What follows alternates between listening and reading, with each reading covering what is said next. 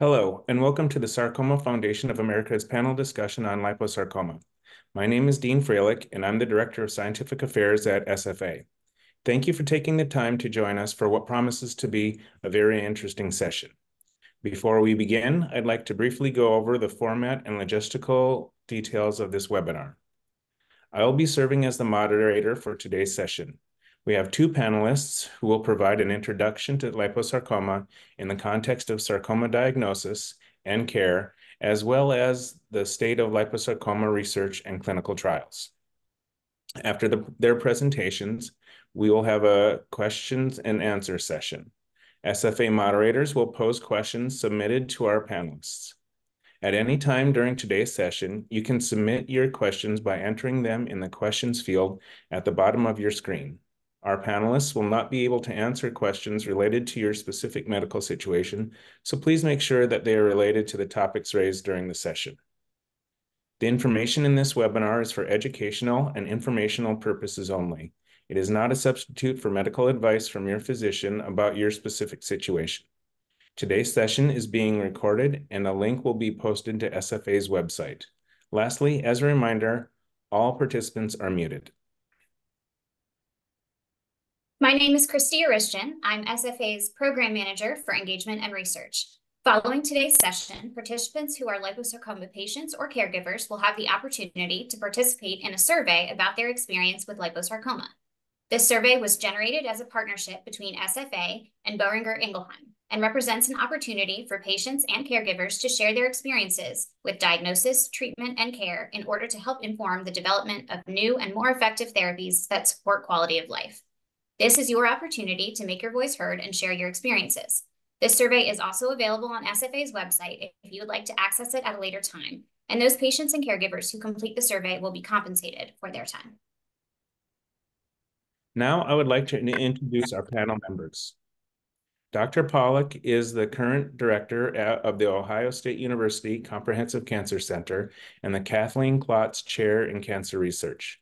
He is a professor of surgical oncology at The Ohio State University College of Medicine and professor emeritus in the Department of Surgical Oncology at the University of Texas MD Anderson Cancer Center. Dr. Pollock has held a number of leadership positions at both MD Anderson and The Ohio State University, including Distinguished Chair, Director of Division of Surgical Oncology, Distinguished Teaching Professor, and Surgeon in Chief.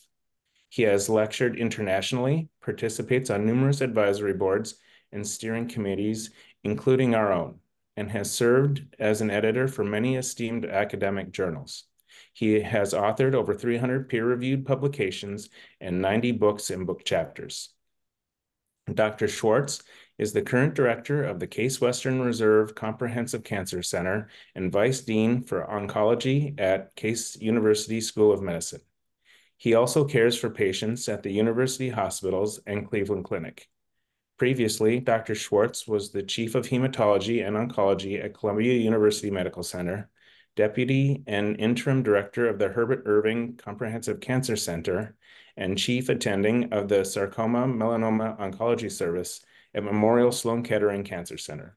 Dr. Schwartz has received numerous honors and awards, including SFA's Nobility in Science Award in 2017.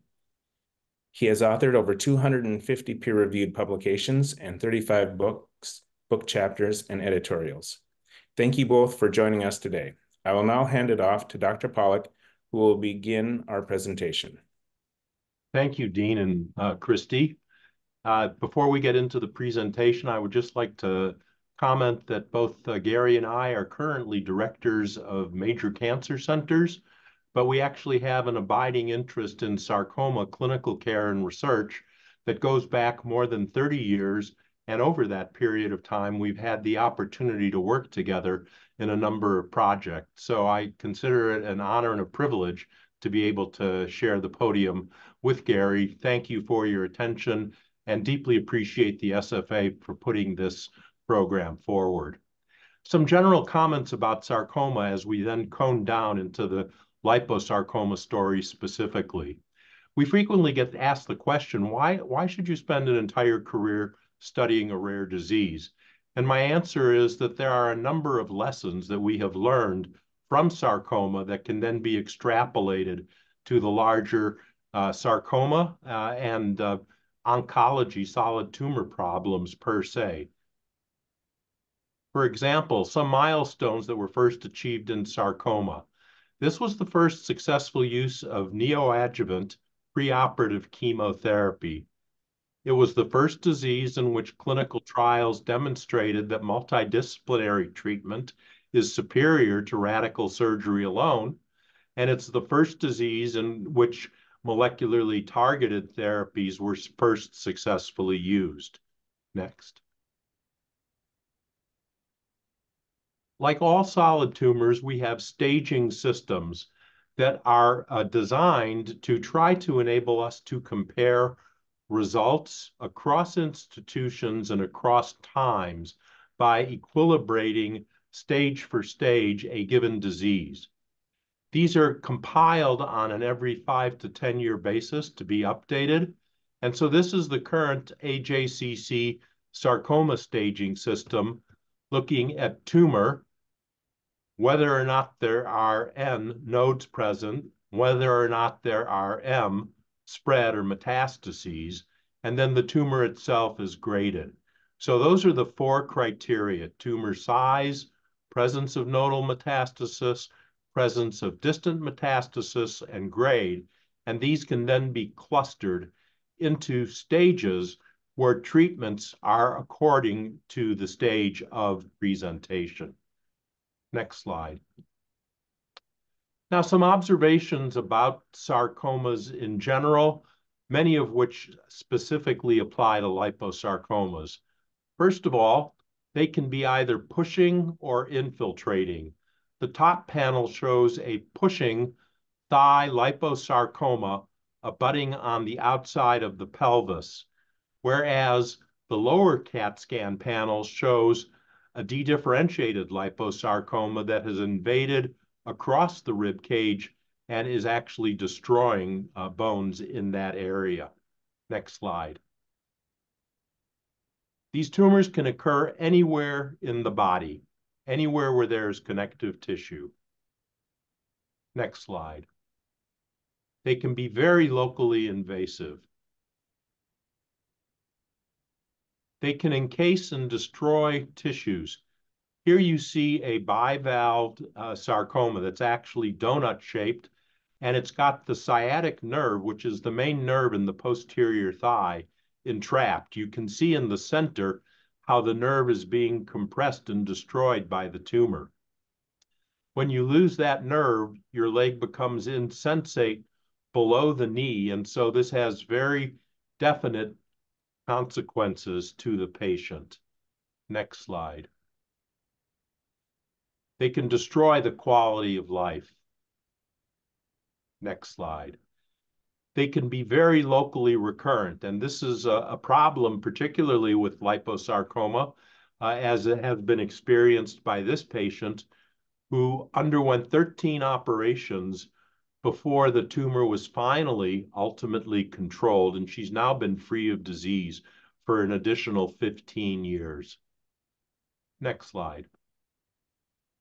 Local control can be very costly. This is a different type of a sarcoma, a so-called unclassified pleomorphic sarcoma. The old name was malignant fibrous histiocytoma. And you can see the sciatic nerve, which we just talked about, going up into the tumor and then exiting where the little blue elastic band is around the nerve itself. This leaves the operator with an unenviable choice of either dividing the nerve and accepting the functional deficit or potentially saving the nerve but leaving a positive margin in the hopes that the tumor will be further controllable with radiation after surgery. Next slide. There are a number of known causative factors. Uh, this is a uh, dedifferentiated uh, liposarcoma that was induced by radiation therapy. If you look at the arrow carefully, this was a patient who had orthovoltage radiation in the early 1960s for a pediatric tumor, a Wilms tumor, and you can see the uh, partial atrophy of the uh, abdominal muscles on the right side of this patient's abdomen. The bottom picture uh, shows the tumor after it has been successfully removed. Next slide. Next slide. Sarcomas can also be induced by chronic lymphedema. This is a lymphangiosarcoma of the left arm in a patient who previously had a stage one breast cancer that was treated with the combination of surgery and radiation. Next slide. The circle shows some areas with little purple dots. These are incipient lymphangiosarcomas within the patient's extremity chronic lymphedema. Next slide. And this is what one of those tumors looks like after it's excised. Next slide. Another example, uh, a patient of mine originally from Egypt who has uh, filaria, which is a type of parasite that can destroy the lymphatics, and it resulted in elephantiasis of her extremities. Next slide. And here you can see those same purple to violaceous dots, which represent tumors in the chronic lymphedema bed. Next slide. Sarcomas can be very heterogeneous. A patient with a very large liposarcoma, and in the CAT scan, you can see both a dedifferentiated area as well as a well-differentiated area. You can see this both on the scan as well as in the microscopic appearance under the microscope.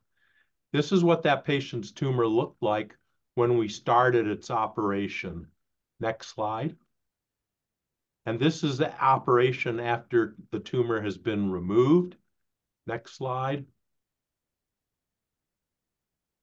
And as the nurse is observing, click, Sarcomas can also be very uh, angiogenic, meaning that they can scavenge blood vessels and even create new blood vessels as a way of sustaining their own growth. You can see sarcomas here involving the intestine with dense fronds of new vessels that have been grown out from the tumor itself. Next slide. And that circle just encloses an example of that. Next slide. Sarcomas can have multifocal skip lesions. This is a synovial sarcoma of the foot in which three separate sarcomas were identified. Next slide. But not all multifocal sarcomas are truly multifocal. A series of scans, click, click, and you can see what looks like three separate tumors when we explored the patient, however, we found that they were all actually simply one tumor that were interconnected and very easy to remove. Next slide. Uncommon metastases occur commonly. This is an isolated liposarcoma that has metastasized only to the tip of the appendix. Next slide. Diagnostic images are not always accurate. This is a patient who was referred to me with allegedly an unresectable liposarcoma, which you can see in the left side of the abdomen. It was thought to be unresectable because it crossed the midline and appeared to involve some of the major blood vessels that couldn't be removed. And it also looked like it was infiltrating the abdominal wall but we thought that it would be important to actually explore the patient because the scan was not absolutely certain. And when we got inside, we found that this large tumor was actually very encapsulated and only attached to the backside of the stomach through a very narrow isthmus of tumor that's enclosed within the circle. Next slide. Not everything that looks like a sarcoma is a sarcoma. This is a benign phylloides tumor of the breast. Next slide. How the biopsy is performed is critical. This is a patient who had a very small liposarcoma involving the patellar tendon. but the biopsy was performed in the manner that was not very useful to the patient. On the left, you can see a cruciate-shaped uh, biopsy scar. There's a little bit of redness because it's infected, and that entire area ultimately had to be removed surgically as compared to the biopsy scar on the right side, where the scar is small, it's oriented parallel to the long axis of the extremity, and the scar and intervening tissue can be removed en bloc at the time of a definitive operation.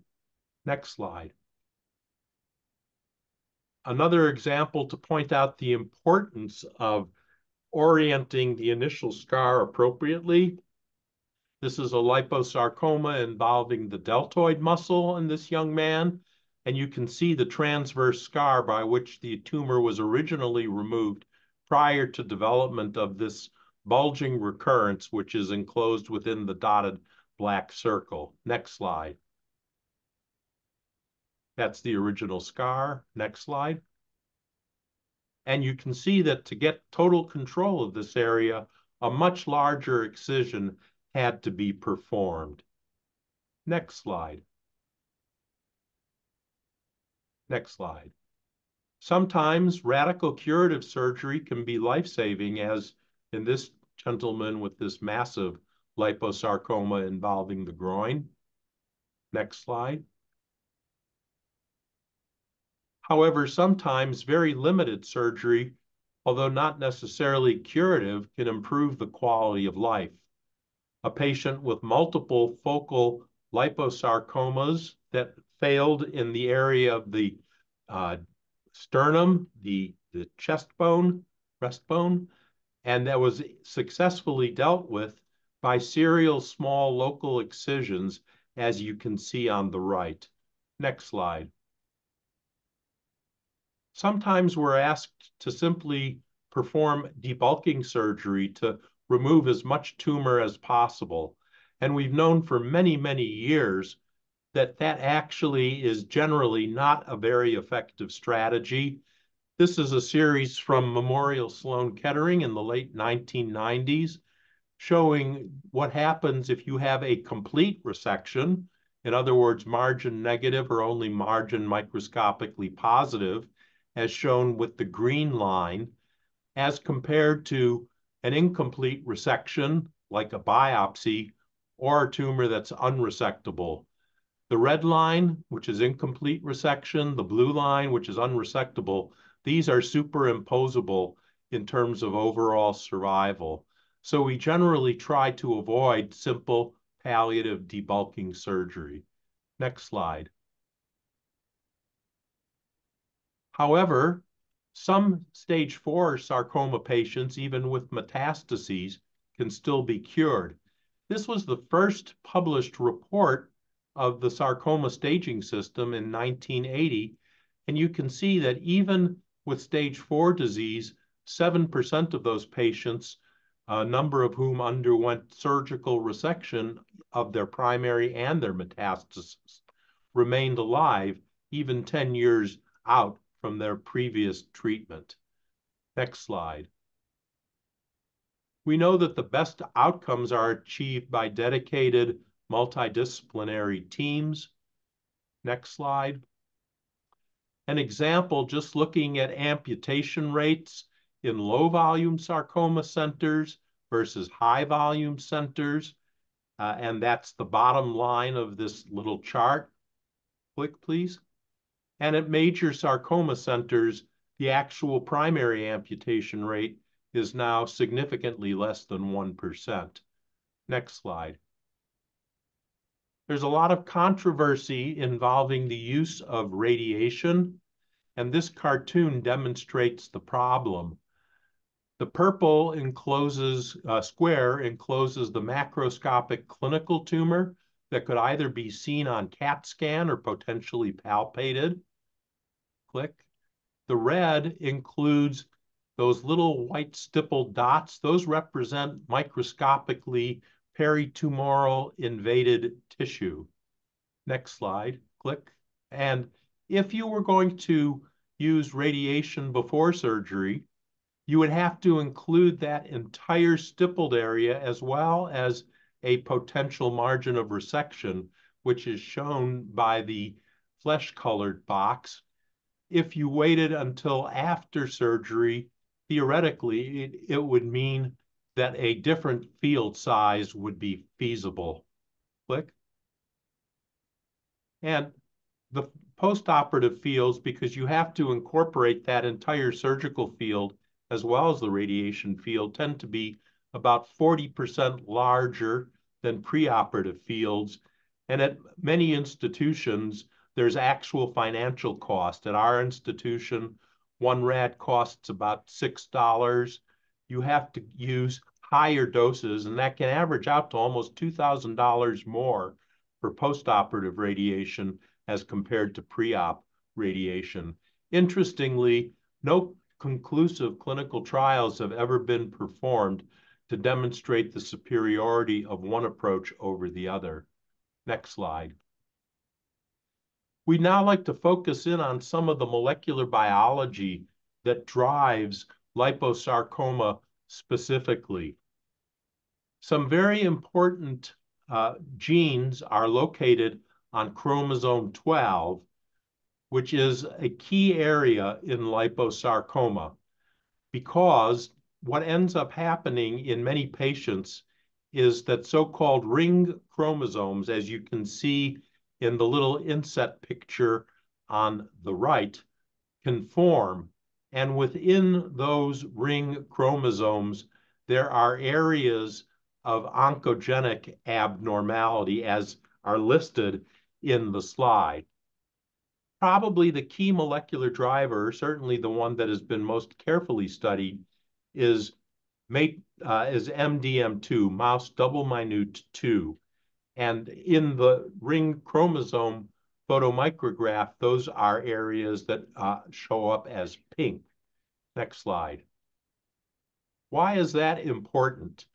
Well, the most common gene that is mutated in all types of sarcoma is P53, the so-called tumor surveillance gene, the policeman of the genome.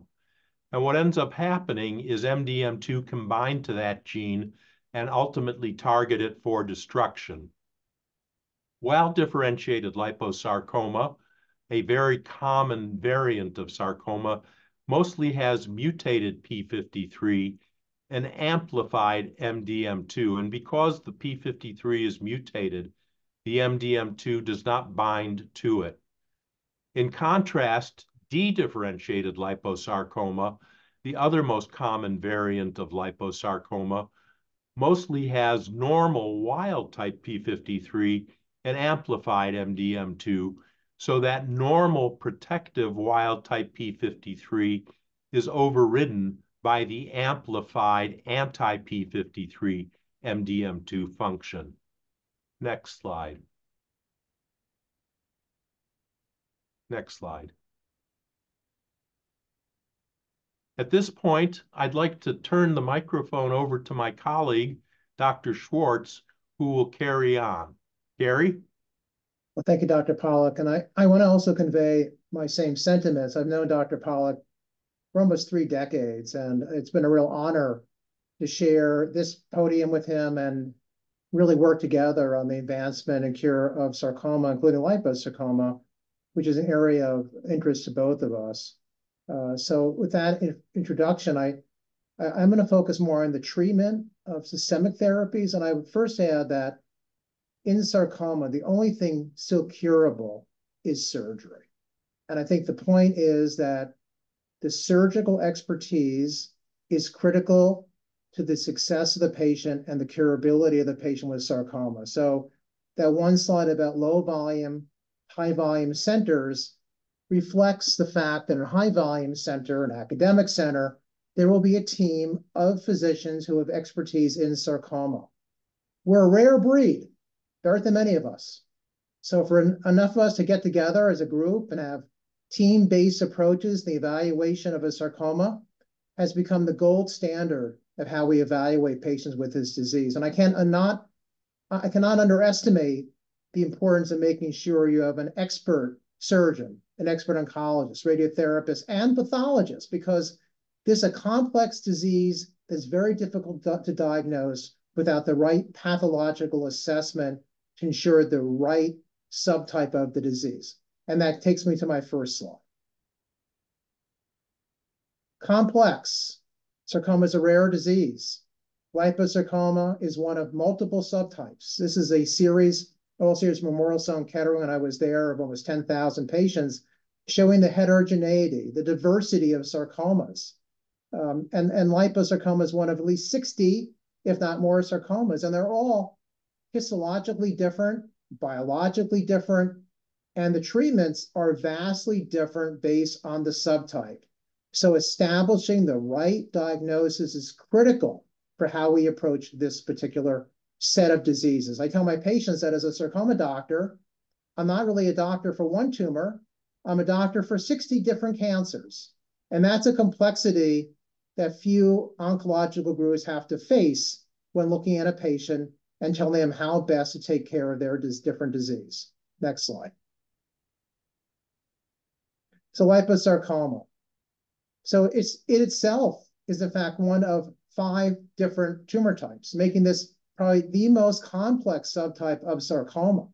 Now, the most common type, which is the one Dr. Pollock has been focusing on predominantly, is a well-differentiated dedifferentiated liposarcoma.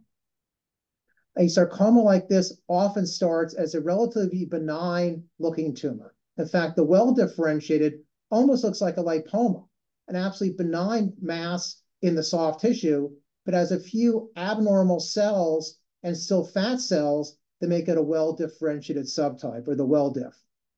The well-differentiated type will eventually transform over time to the more aggressive dedifferentiated type. Now, if we look at the sensitivities to systemic therapies, these are generally resistant to chemotherapy. I'm not going to talk, spend much time or any time about the outcomes with chemotherapy, but they often use a drug called doxorubicin or a drug called Doxil. Some people use it with a more aggressive drug called ifosfamide. It depends on how advanced it is and how young the patient is. But generally, adriamycin-based therapy is traditionally used, but the outcomes are not very good, responses are low, and toxicity is high. But Dr. Pollock mentioned several new oncogenic targets. I'm going to talk about those very shortly. One's called cyclin-dependent kinase 4, CDK4, and the other is called MDM2. And both of these are amplified in sarcoma. And I'll come back to what that exactly means. And also in this well-differentiated, dedifferentiated, and I put this well-diff, D-diff, because what we often see is components of both. Because remember, the well-diff will eventually transform to the D-diff. So half the tumor will be well-diff and half the tumor will be D-diff. And we call that the well-diff dedifferential liposarcoma. As a group, they're also um, sensitive to a drug called eribulin. This drug was recently approved for sarcoma, particularly liposarcoma. I should say I'm not going to show the data, but for eribulin, the actual response rates are rather low. But for reasons we do not understand, eribulin does lead to uh, prolongation and survival when compared to control. Uh, and the biological basis of this is unclear, but it's a drug, systemic therapy we do use, and it's approved particularly for liposarcoma. Now, as the other two, two tumor types, one's called myxoliposarcoma. This does not have that CDK4 MDM2 amplification. It has other oncogenic events. And often you will see another histological feature called round cells. And this reflects the degree of aggressiveness of the tumor. And the higher the round cell component, the more aggressive the tumor is. And that'll often influence the oncologist's decision whether to give postoperative chemotherapy after surgical resection. The more round cells, the greater the risk for metastatic disease. And the data would suggest the randomized studies are, are a little bit lacking that the round cell, high round cell myxoid liposarcoma should probably should get adjuvant systemic chemotherapy after surgery. And it is a chemotherapy sensitive sarcoma, which makes it quite different from the well differentiated, dedifferentiated. And there's another drug we use in this disease also called trabectedin, and it is active in the myxoid liposarcoma subtype. Now, Trabectedin is approved in the well-differentiated, dedifferentiated. However, the sensitivity of trabectedin for well-diff, d-diff is quite low, and I tend not to recommend it as a treatment option. Though if you look at the label for trabectedin, it is approved for all liposarcomas, but the fact is, it's only really active in the myxoliposarcoma, which is a very rare subtype, maybe 250 to 300 cases a year in the United States. And then finally, we have the pleomorphic variant, which is very aggressive. It's, it's a transformation, probably the well-diff D-diff, though it may be a de novo sarcoma subtype. We use chemotherapy, but these tend to be very chemotherapy resistant, and the outcomes, unfortunately, with this sarcoma are not very good. Next slide, please. Well, this is liposarcoma. This is what it looks like under uh, on a CAT scan. We saw a lot of surgical samples from Dr. Pollock's uh, uh, overview, but I'm showing this because it reflects the difficulty of understanding how to treat it. Now, this is CT scan. It's it's a it's a cross section, and what I'm showing you on um, on the on one end of this is the well differentiated liposarcoma, and the other side is the denser dedifferentiated liposarcoma. That whole tomb, whole thing that goes from the right side of the abdomen to the left is all a sarcoma, but the half is the more indolent well diff, and the other half is the more aggressive D diff. And the fact is that we have a, composite, com a composition of two different sarcomas act very differently that we tend to treat this as a D diff. But you can imagine the complexity of surgical resection of such a large mass. And it takes the expertise of Dr. Pollock and experts in sarcoma surgery to, incure, to try to ensure a curative, we call R0, margin negative operation. So this is what we face when we first see a patient. We need to decide how to approach it surgically, uh, and then decide if it's not surgically resectable, are there systemic ways to decrease it? If there's residual disease, how best to treat it? And of course, if it's metastatic, uh, how best, what therapies we would offer in that situation. Next slide, please.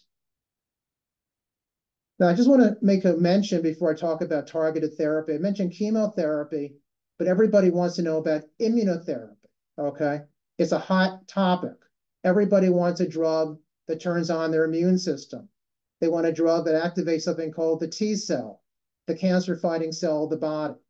And this is actually the first study uh, from SARC, which is a large group of cancer centers who treat patients with sarcoma, giving a drug called pembrolizumab that is an immune activating agent.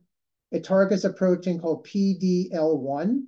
That is a protein that when inhibited with this drug pembrolizumab, also called Keytruda, will activate the T cell to fight cancer. Now, on one end, this is a, a, a, little complex, but on one side here, we have something called a, a, a um, spider plot. It looks like a spider.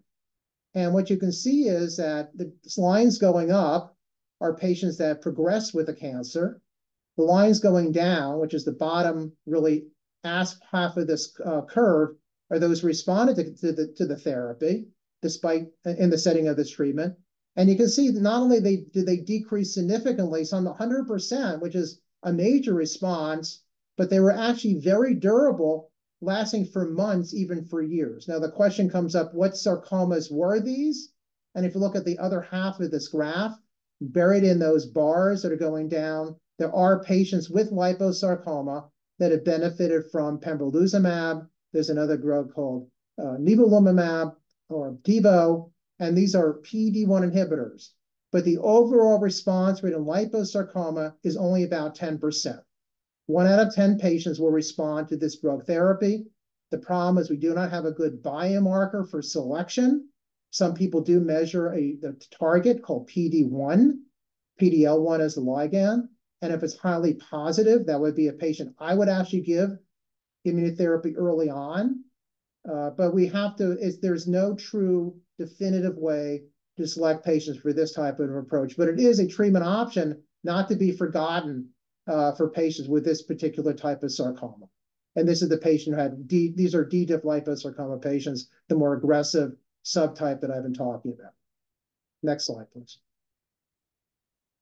Well, now I'm going to switch to the CDK4 MDM2 story. This is the new hot story going on in oncology and sarcoma.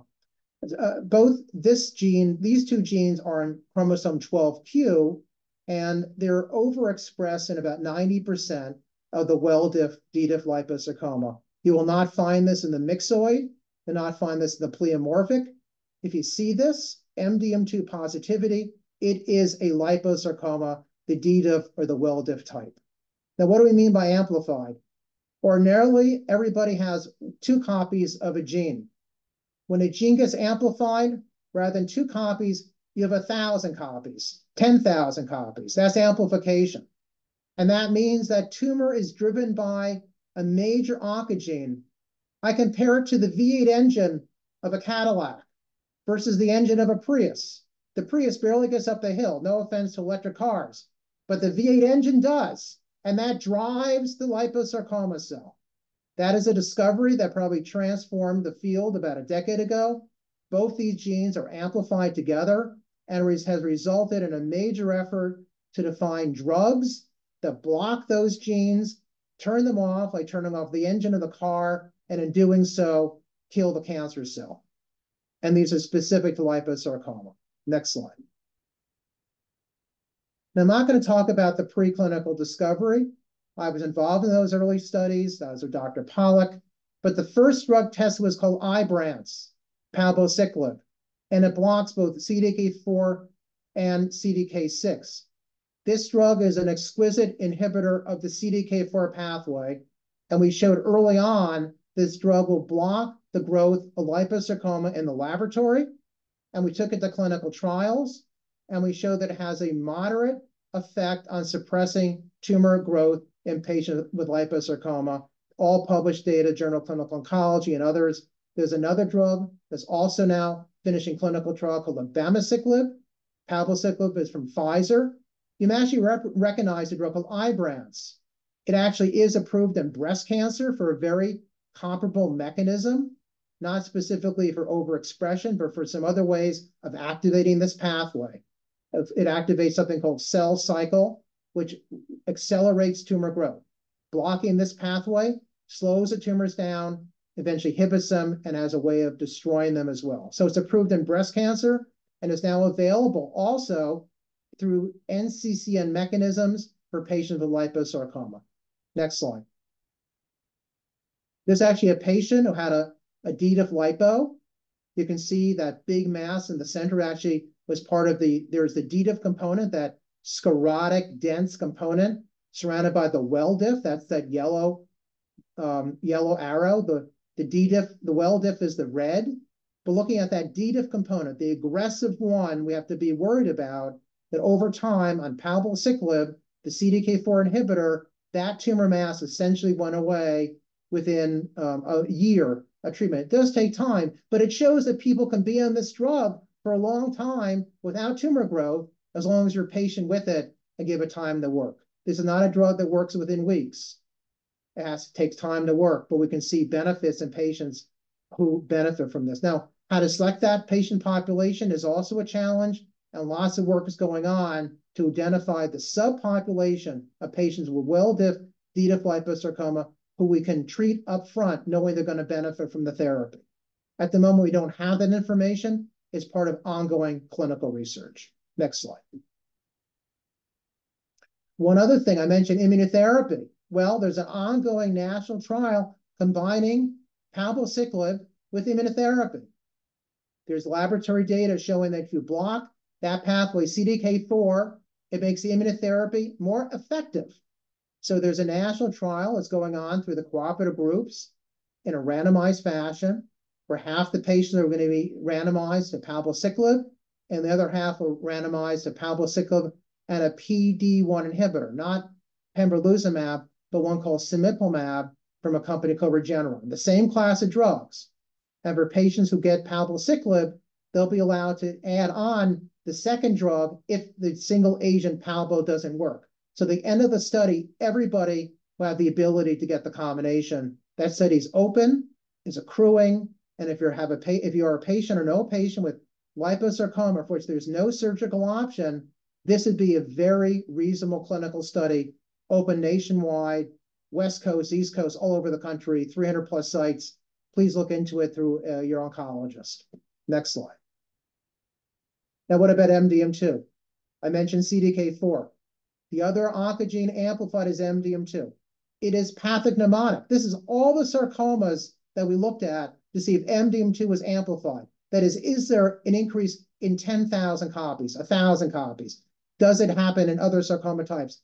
This is all those sarcoma other types, and we do not see it except in liposarcoma. There isn't a, there's one newer tumor, just to be aware, called intimal sarcoma, where you see it, but that's a really, really rare sarcoma, maybe 80 to 100 cases a year. It happens in the, uh, usually up in the upper uh, chest, uh, often from the uh, arteries or the major blood vessel.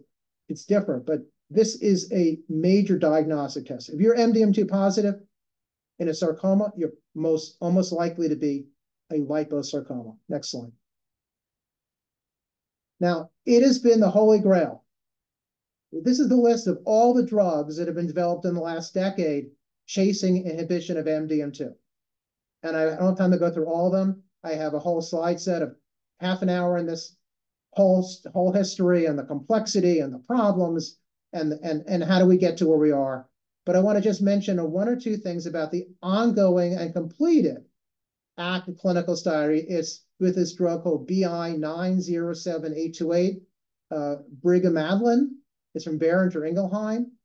They have just completed a national randomized study, actually international, of several hundred patients comparing doxorubicin to the MDM2 inhibitor. It is not yet reported out. We hope to hear about this very soon. We do have, we call phase one early data with the drug as a single agent. Next slide. This is data published from Gounder and Cancer Discovery. Now, what I'm showing you is something called a waterfall plot. A waterfall plot is every bar down is a patient had a decrease in the size of their tumor. Every bar up is a patient who's progressed. If you progress more than, if you decrease more than 30%, that's called a partial response. If you decrease 100%, that's a complete response. And you can see here that patients with the well-diff, D-diff liposarcoma, the number of responders are MDM2 positive, 90% in the series, and they're actually non-liposarcomas as well. That's why not all of them are amplified. But in those who are liposarcoma, the response rates were quite exceptional. Next slide. Just to show what they look like, these are patients with liposarcoma. In fact, they had well-diff liposarcoma. This is these are fatty tumors. This is a, a CAT scan of a rather large mass, one in the abdomen and one in the liver. This is not surgical resectable. And after 15 months of therapy, the tumor was substantially decreased in size. The bottom one is another patient with liposarcoma. That's a mass in the right lower pelvis. And after 12 weeks of therapy, this actually is pretty fast. The tumor size had decreased significantly. After 60 weeks, it's barely detectable. So based on this data, this has now completed a randomized phase three study of BI, of the brig brigimadlin drug versus doxorubicin for first-line therapy. If it's positive, this drug will become the new standard of care for patients with metastatic or unresectable liposarcoma in the United States. And we wait expectantly and hopefully for the data. I think that's my last slide. So I, I just want to give you an overview the pathway to progress in sarcoma is not clearly marked out.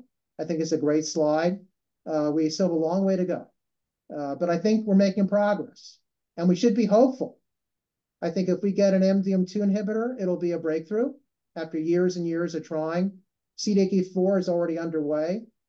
And I think we're just beginning to uh, really go deep and deeper into therapeutic approaches to build on the surgical expertise and with progress and working together and as teams, we can do incredible things today in oncology, things that just weren't available and possible even several years ago. And I'll stop at that point and open up for questions. We'll gladly field any questions from the group. Thank you very much. Thank you both so much. That was absolutely wonderful information. Um, thank you for your time. We do have a couple of questions here from um, the group.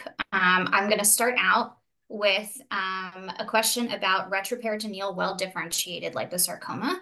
Um, the question is, it seems like surgery is still uh, really the most effective treatment. Um, is there anything new that is specific for retroperitoneal well-differentiated liposarcoma? Um, can you suggest strategies um, that, or strategies or current research that are specific for this particular subtype of liposarcoma? Sure. Um, I'll take uh, maybe first crack at that. The key, as Gary alluded to, is an effective surgical resection, but it does not exist in a vacuum.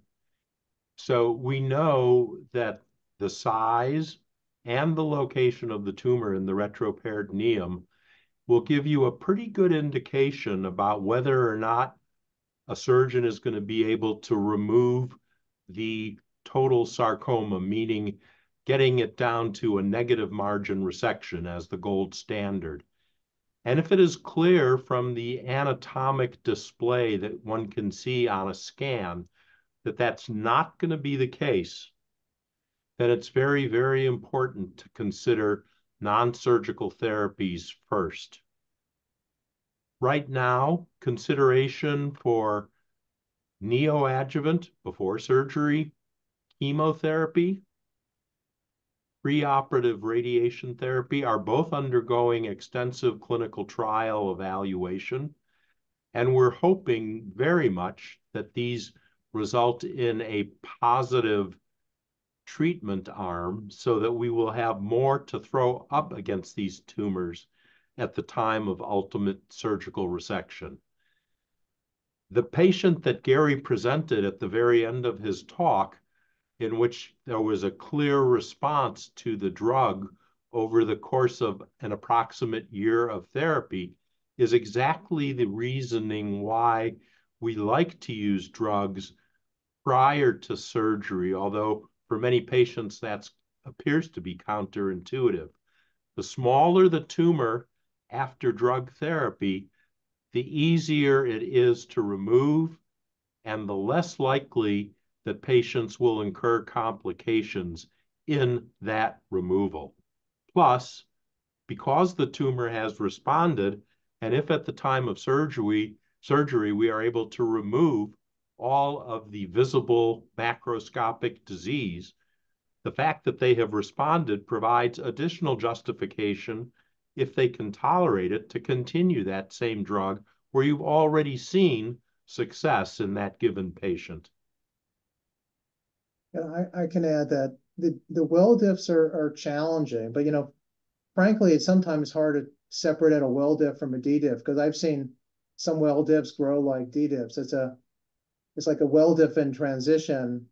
And the problem is you can biopsy one part of the tumor and get well diff, and then you can biopsy another part of the tumor and get D diff, right. even though the initial biopsy is called well diff. So there's a sampling error to try to figure out what is really D diff from well diff, makes it very complex.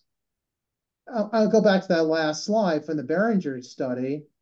That actually was a patient with a well differentiated liposarcoma. I mean, their well diff has MDM2 too. And um, I think the study is really addressing the DDIF population, but I'm hoping that we can come back and readdress that drug for the WellDiff population. And there are discussions underway how to do that in a subsequent study.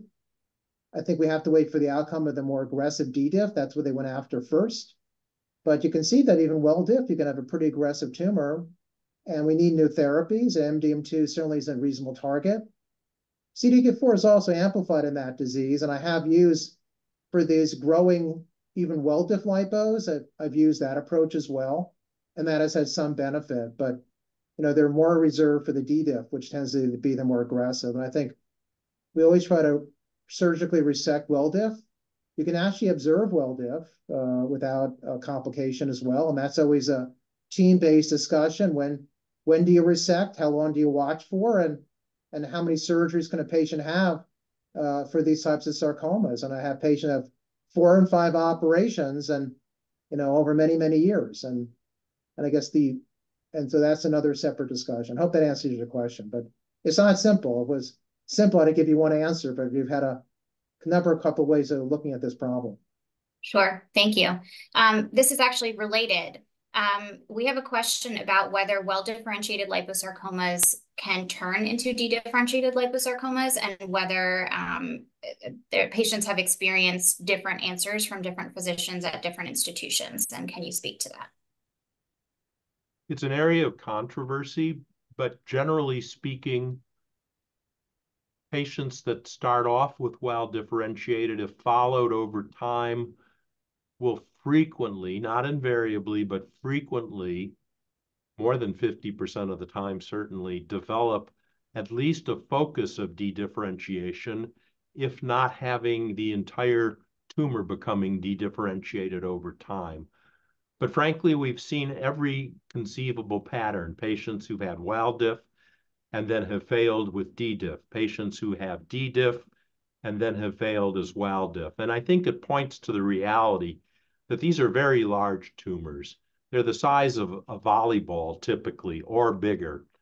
And if you took that three-dimensional tumor and you rendered it as a two-dimensional plane, and then you took biopsies from that surface, at best you're going to probably sample three, maybe 5% of that surface area. So when we see both types of histologies in that context, it would imply that the area of D diff or the area of wild diff was simply missed in the biopsy itself because we have to go with what we can see macroscopically. Otherwise, it's pretty much a random goose chase. Yeah, I, I agree that there's a high likelihood that the well diff will become D diff. And that's why, in fact, I favor surgery with a well diff, that we don't want to be sitting on watching a well diff for too long because there's a, at any given point, it can transform to the D diff, which is the more aggressive type. So that's really the rationale for surgical resection of a well diff. It itself will not cause you harm. In fact, I think many of these well diffs are picked up after years of being underdiagnosed. They're often picked up by an incidental exam finding. But that patient is lucky that hasn't already undergone transformation. And I don't really feel comfortable sitting on that tumor waiting for that transformation to take place if it's surgical resectable. So then I'll call Dr. Pollock, call one of my surgical colleagues and say, I think we should move ahead with the surgical resection uh, and then decide whether the patient is appropriate as, you know, safe medically and, and, and other factors. But if, unless there's some medical comorbidity that would prevent a surgical resection, I would favor it. It also points to the importance of serial imaging, serial analysis, and serial presentation at multidisciplinary expert sarcoma conferences because you can see the patterns over time as they change, and that will frequently in, not only inform the conversation, but inform the decisions about when to intervene. Um, I have two questions that are sort of related to the topic that you've been um, of the last two questions. Um, do you see or notice a pattern in the change of growth or the rate of growth um, relative to the histology? When I'm asked that by other patients in other contexts, I, I, this will sound a little bit glib, but I tell them that the only thing we can say with certainty is that the rate of growth is predictably unpredictable meaning they will grow faster and then they'll slow down.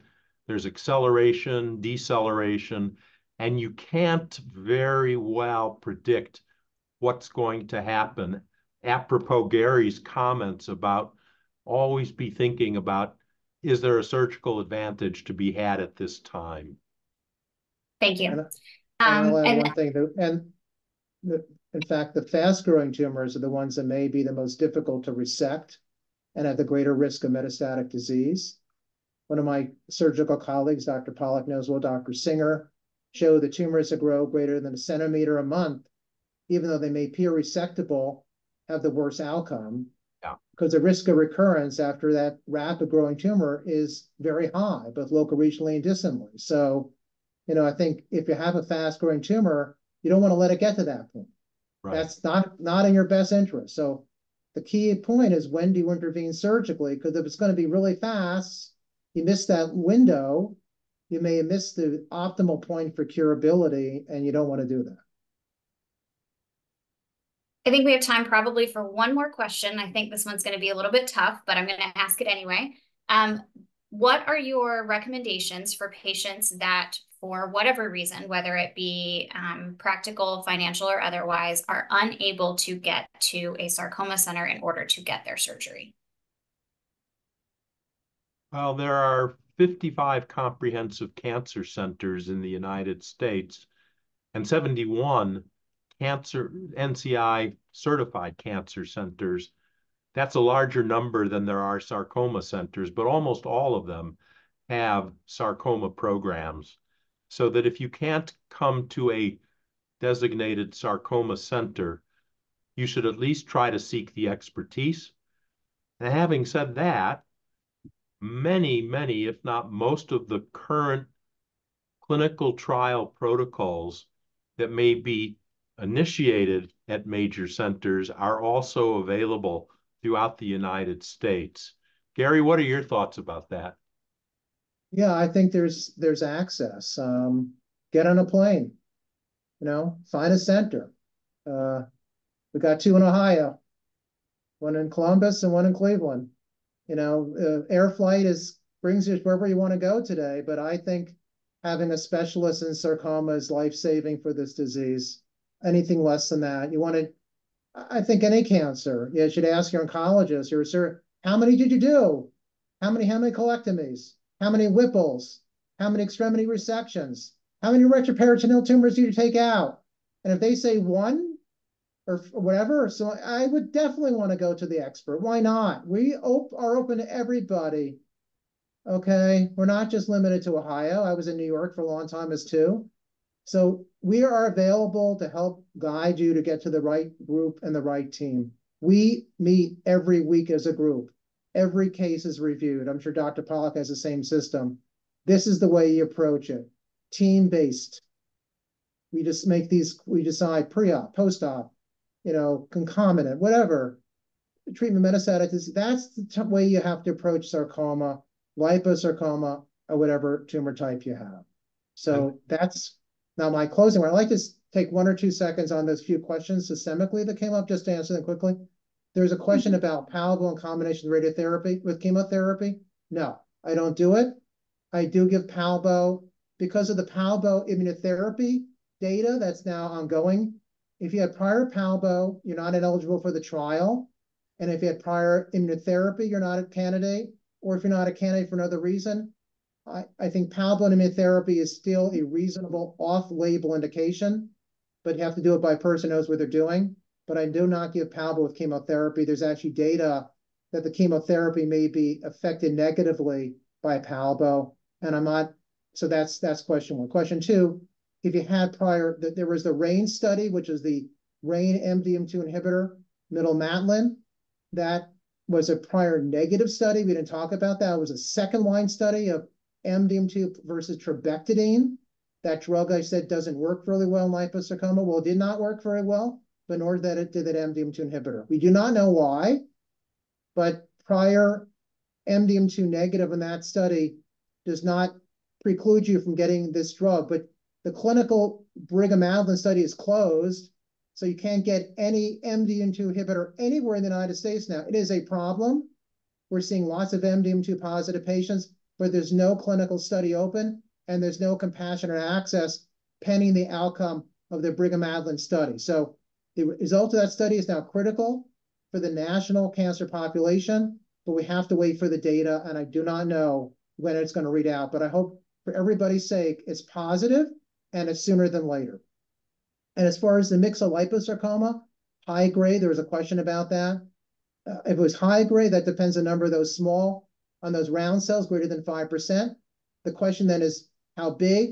And if it was large and high grade, I would give adjuvant chemotherapy and large high grade. Again, I don't know the details here, so I'm just getting from the information I have. We would give local regional radiotherapy because Local recurrence is high for these high-grade sarcomas, and we give would give it wasn't given pre-op, we would give post-op or radiotherapy. But again, I, I don't know all the details, and I can't give a definitive answer. And I say that's true of everything we said today.